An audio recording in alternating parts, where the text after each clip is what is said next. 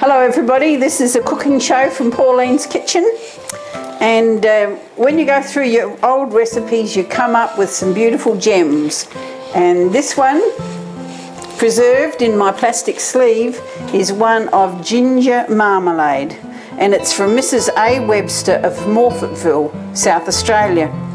And I just thought it was time we had some homemade marmalade. So we're having ginger marmalade with crushed pineapple and grapefruit today. We're slicing the grapefruit as thinly as we can without cutting the fingers so that the peel is fairly fine. And um, that's a thin piece of grapefruit. If you can get it thinner than I can, go for it.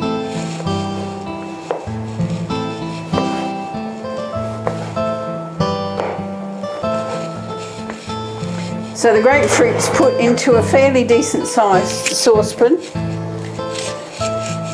because there's a few more ingredients to go in.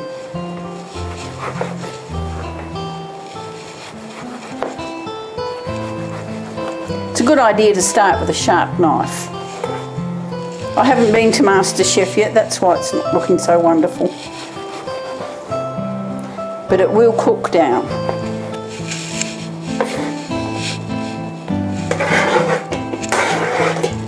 There's two large grapefruit in this recipe. And uh, when you look in the pot, you can see there's quite a bit of grapefruit in two large grapefruit. I'm just going to spread that out a little bit so that it's evenly in the pot. And now I'm going to put it on the heat. Uh, the grapefruit's in the pot and now I'm going to add one and a half litres of water all pre-measured as they do in good cooking classes.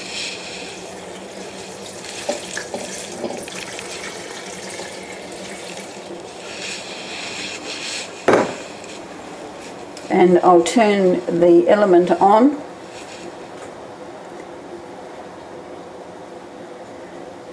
and then I'm going to bring this to the boil, just bring it to the boil. I've just measured out 60 grams of crystallised ginger. I bought it in fairly big pieces, so I'm pulsing it down so that it spreads through the jam.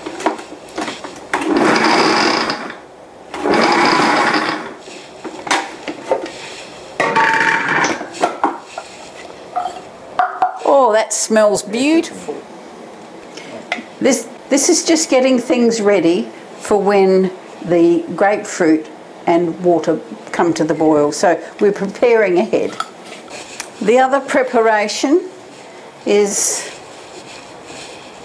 the pineapple because we're having some pineapple with this marmalade too.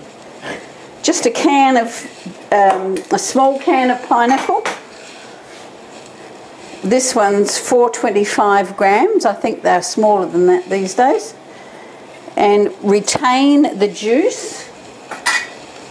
And I'm going to put all of it in the food processor just to make it a bit smaller without pulping it.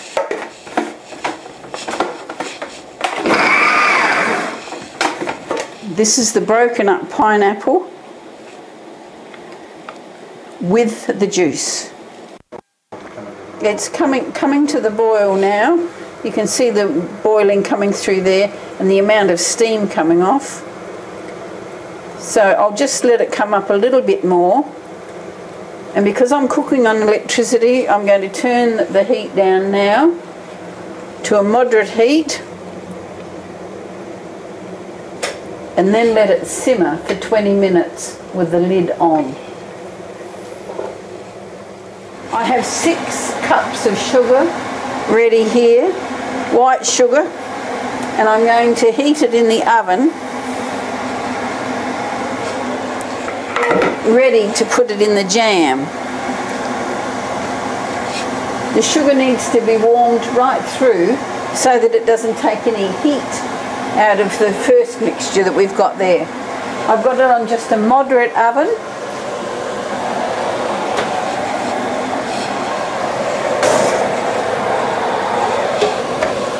And the sugar will stay there for about seven, eight minutes or until it's warmed right through. This is the simmering and the colour's changed a little bit and the pith has gone orange.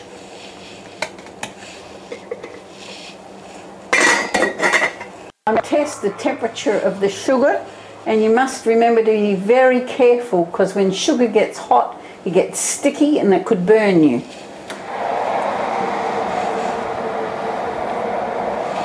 So I'm going to take a little bit out with the spoon out of the middle, put it in there. It's not warm yet.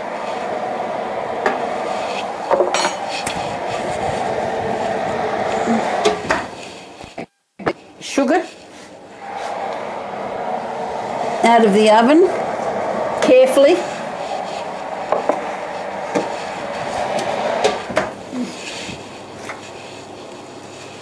And now I'm going to put it in with the grapefruit that's been simmering.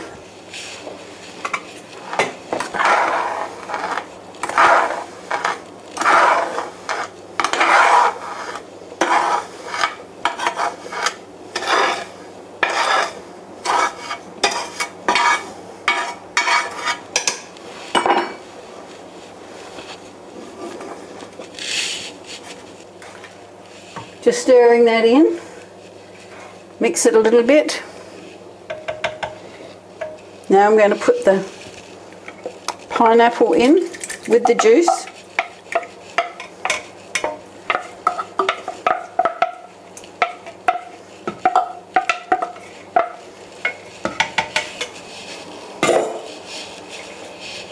And now the ginger. And I'll spread that out a little bit because it's gone, it's clumped together.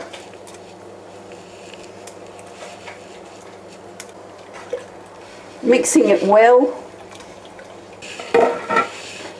Now I'm going to bring the heat up a little bit because everything got a little bit cold then and I'm going to bring this mixture to the boil and I will boil, simmer it uncovered for 50 to 60 minutes. It's coming to the boil now, not quite boiling all over the pan and can, you can see that the light orange is now turning a little more caramel.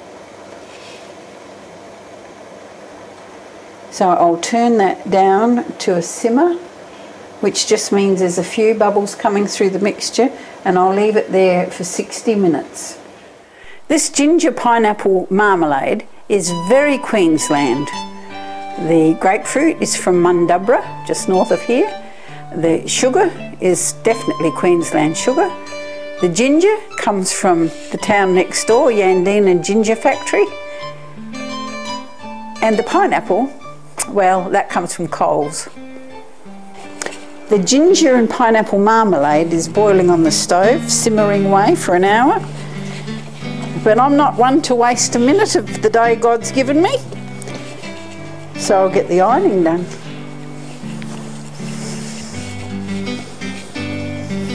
And if you've got little jobs to do while you're waiting for the marmalade to cook, you've got a chance to get out and do them. In my case, it's uh, finished painting the fence.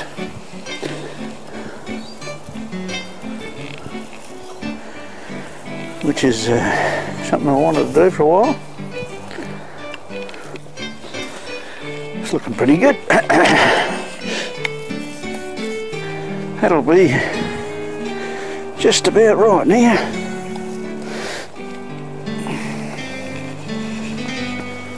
Doesn't look too bad.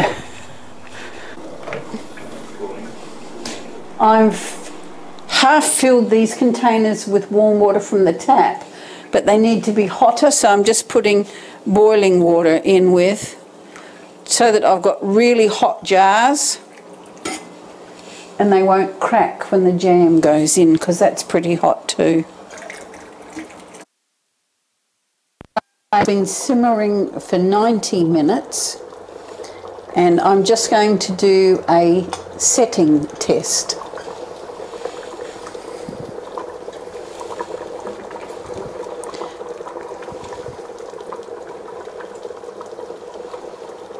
Just a little scoop of the liquid. Now I'm going to bring it over by the window to cool it down a bit.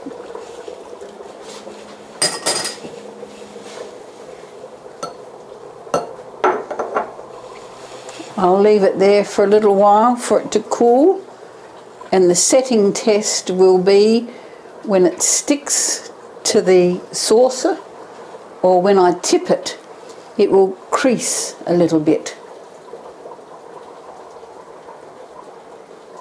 It's very runny. So, not ready yet? No, that's not ready. That's too runny.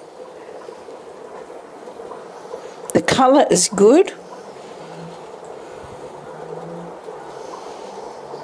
If you cook it for too long, you'll tip it into the jars and it will actually be hard. So we don't want to cook it too much longer. We'll leave this to cool.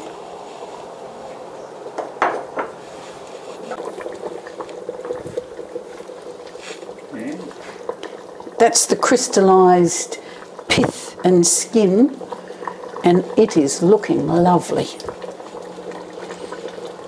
A nice lump of butter on hot toast with that on top.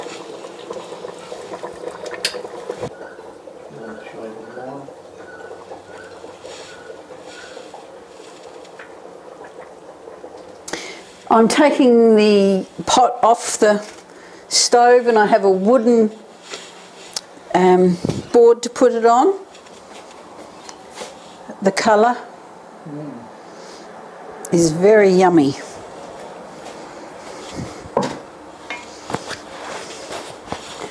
I've emptied the hot water out of the jars.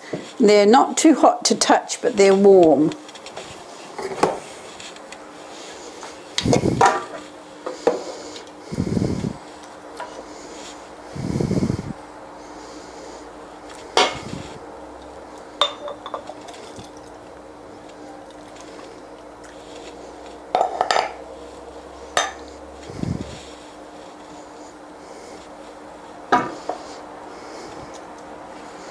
As I get a jug full, I'm looking in the pot to make sure I get enough solid in each jar. I'm just going to wipe these jars while they're hot because I've spilt down the side. I can feel the jam setting on the side of the glass already. These um, jam jars that have the seal inside of them, you can use them again and they'll work because the jam's hot. Put the lid, clean lid on tight while the jam's hot and it will seal just like it did when you bought the first original jam jar. So that's that one. Now we're going to put covers on the drinking glasses. I'm doing jam covers. It's a special kind of cellophane. I've put a little bit of water in this bread and butter plate. I'll drop a single jam cover in there and take control of it because it wants to roll up all the time and lay it across the top of the the jar, the drinking glass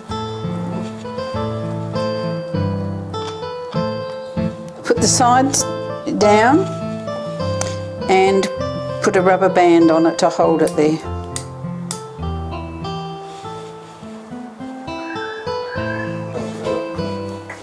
In the packet with the jam covers come these little labels and on this one I've written Queensland Marmalade 2012. There's a little bit of gum on the back so I just wet that and pop it on the glass.